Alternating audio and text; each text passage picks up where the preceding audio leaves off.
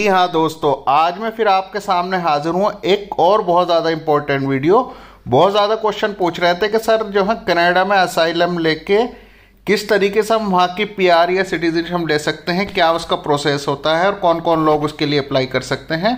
तो मैंने सोचा इस पर एक वीडियो बना देता हूँ पूरी, जो है डिटेल में, जिससे कि उन लोगों को तो उनका क्वेश्चन मिल ही जाए रिप्लाई उनको मिल ही जाए उनके क्वेश्चन का, और आप लोग भी अगर नए हैं तो आपको भी इसका रिप्लाई मिल जाए। और अगर आप अभी नए हैं चैनल पे, चैनल सब्सक्राइब नहीं किया है तो नीचे डिस्क्रिएगा सब्सक्राइब का बटन आ रहा है, चैनल को सब्सक्राइब कर लीजिएगा और बेल आइकन दबा लीजिएगा, जिससे कि इन फ्यूचर जो हम डेली अपलोड वीडियो करते रहते हैं, वो बाय डिफ़ॉल्ट आपको बाय नोटिफिकेशन मिलती रहे। तो दोस्तों, जैसे कि आपको पता ही है, बहुत से लोग जो हैं, जैसे कि आपको पता ही असाइलम लेते हैं कनाडा पहुँच के और उसमें वहाँ ले करके वहाँ का वहाँ का वर्क परमिट उन्हें मिल जाता। है वर्क परमिट के बाद पीआर और पीआर के बाद सीधे सिटीजनशिप वो ले लेते हैं। तो अब इसका क्या प्रोसेस होता है? कौन कौन लोग इसके लिए अप्लाई कर सकते हैं? क्या इसके बेनिफिट हैं? और किस तरीके से ये जो है अप्लाई होता है? सारी चीज़ें इस वीडियो में जो है डिस्कस होने वाली हैं। तो प्लीज़ आप इस वीडियो को लास्ट तक देखते रहिए स्किप ना कीजिएगा। तो जैसे कि दोस्तों पता है असाइलम देखिएगा, कनाडा में दो तरीके के होते हैं। एक होता है आउटसाइड कनाडा और होता है एक इनसाइड कनाडा। ठीक है ना? आउटसाइड कनाडा पे मैंने अलग ही स्पेसिफिक वीडियो बनाई हुई है। डिस्क्रिप्शन बॉक्स में लिंक डाल दूँगा वीडियो लंबी हो जाएगी। आज हम बात करेंगे इनसाइड कनाडा की। कनाडा पहुँचने के बाद वहाँ असाइलम लेके किस तरीके से आप जो है असाइलम लेके, वहाँ की प्यार वर्क परमिट लेके, प्यार और प्यार के बाद सिटीजन सिटीजनशिप कैसे ले सकते हैं?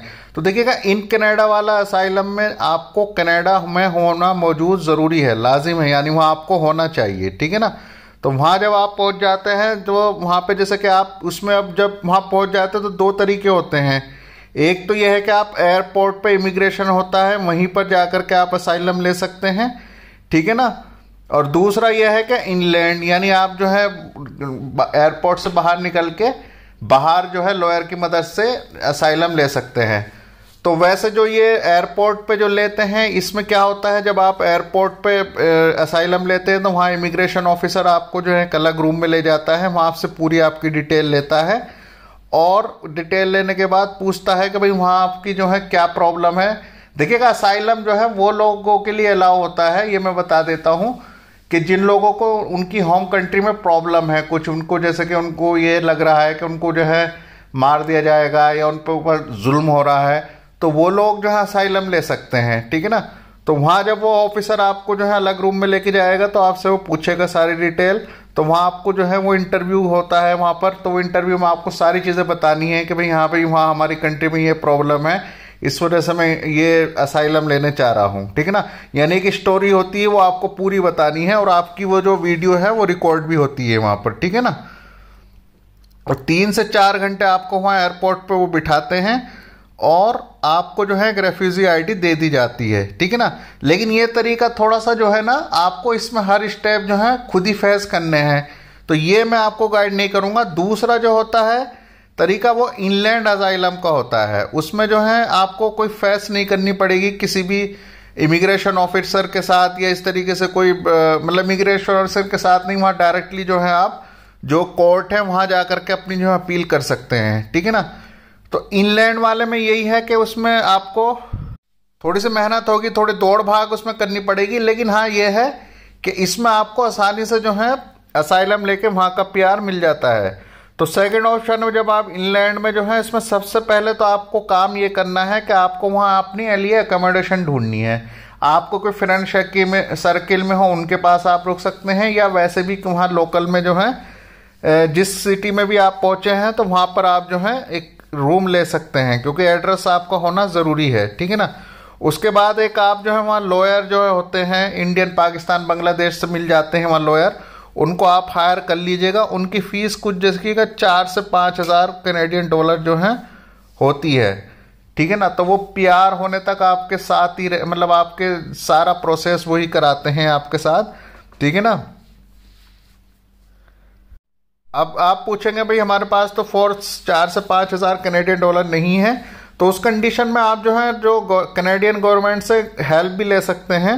गवर्नमेंट आपको जो है हेल्प देती है, आपको एक कैनेडियन लेकिन उसके लिए है कि वो कैनेडियन कैनेडियन सिटीजनशिप लॉयर आपका होगा। यानी गोरा जो होते हैं, गोरा होगा आपका जो लॉयर होगा, गोरा या गोरी होंगी तो वो आपका केस जो है पूरा हैंडल करेगा, ठीक है ना? तो जब वो हैंडल करेगा तो उसके बाद आपको देखिएगा एक आईडी वहाँ मिल जाती है। पीआर होने तक आपको एक आईडी वहाँ पर जो है गवर्नमेंट की तरफ़ से मिल जाती है, ठीक है ना? और 28 दिन बाद जब आप असाइलम अप्लाई करते हैं तो आपका मेडिकल भी होता है।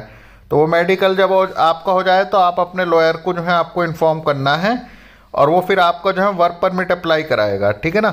तो वर्क परमिट आपका 45 डेज़ के बाद जो है आपका वर्क परमिट आ जाता है, और ये वर्क परमिट जो है, देखिएगा, जो लॉयर है, उसी के एड्रेस पर आएगा, ठीक है ना? और वो एड्रेस पे आने के बाद वो तुम्हें देगा और ये ओपन वर्क परमिट होगा। इसमें आप कहीं भी काम कर सकते हैं। जैसे कि किसी भी तरीके का काम टैक्सी मॉल में, ये किस तरीके का काम जो है आप कर सकते हैं।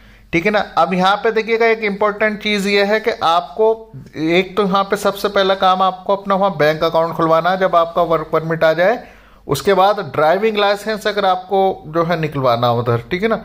ये दो चीज़ें आपको जो है करनी है वहाँ पर। उसके बाद देखिएगा आईआरबी वहाँ की जो है आपकी कोर्ट की एक जो है डेट आती है। उस डेट जब आपको वो डेट मिल जाएगी तो आपके पास डॉक्यूमेंट आपको सबमिट करने होते हैं। ठीक है ना? अब मैं यहाँ बता दूँगा डॉक्यूमेंट जो है, आपके लॉयर ही सारे जो हैंडल करेगा। और हाँ इसमें देखिएगा असाइलम लेने का मैं ये भी फ़ायदा है, इसमें ना तो कोई तुम्हारी एजुकेशन ना तुम्हारा कोई जो है वर्क एक्सपीरियंस ना कोई आपका आइल्स का स्कोर इसमें कोई चीज़ की रिक्वायरमेंट नहीं है। डॉक्यूमेंट जो होते हैं, वो आपका लॉयर आपको बताएगा कि जैसे कि आपके होम कंट्री से आपका प्रूफ के तौर पर कुछ चीज़ें वहाँ से मंगाए तो वो आप वहाँ से मंगा के वो सबमिट करा सकते हैं, ठीक है ना? तो हियरिंग होगी आपकी हियरिंग की एक डेट आती है तो वो आपको कोर्ट में जाना पड़ता है वहाँ पर। तो वहाँ पर आपका लॉयर और और जो दूसरी साइड से जो होती है जो आईआरबी की साइड से एक लॉयर होता है तो वहाँ पाँच से छः घंटे आपको जो है ये वहाँ पर आपकी हियरिंग होती है, यानी आपकी केस जो है सुना जाता है।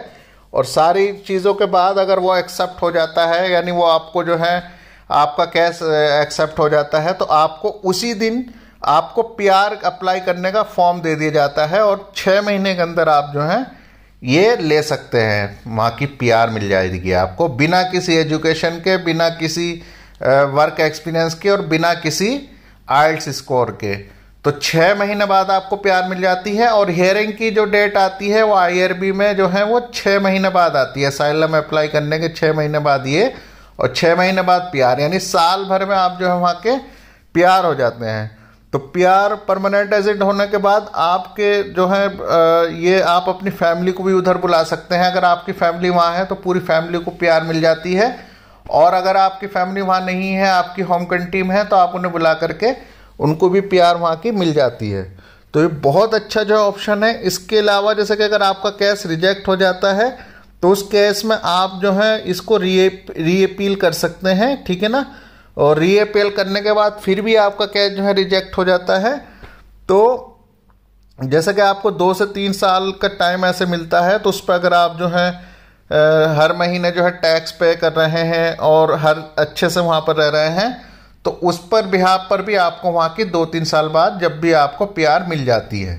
तो कहने का मतलब ये बहुत अच्छा तरीका है, अगर इस तरीके से आपके होम कंट्री में जो है इस तरीके से आप पर जुल्म है या आपको प्रॉब्लम हो रही है तो आप असाइलम ले सकते हैं। उसके लिए वही है, जैसे मैंने बताया, आपका कनाडा होना लाजिम है।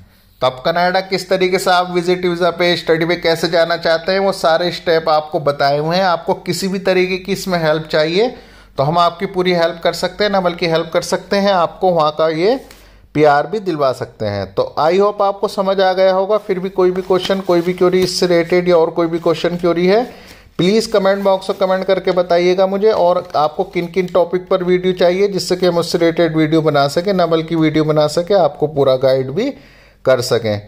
तो तब तक अपना बहुत सा ख्याल रखिएगा और चैनल अभी तक सब्सक्राइब नहीं किया तो सब्सक्राइब कर लीजिएगा। सब्सक्राइब करने का फ़ायदा मैं पहले भी बता चुका हूँ आपको कि जो भी इन्फॉर्मेटिव वाली वीडियो हम डेली अपलोड करते हैं, वो बाय डिफ़ॉल्ट आपको आपके मोबाइल में पीसी में लैपटॉप में, जिसमें भी आप यूट्यूब देखते हैं, उसके होम पेज पर नज़र आ जाएगी और बेल आइकन दबा लीजिएगा, उससे भी आपको बाय नोटिफिकेशन हमारी वीडियो मिलती रहती है।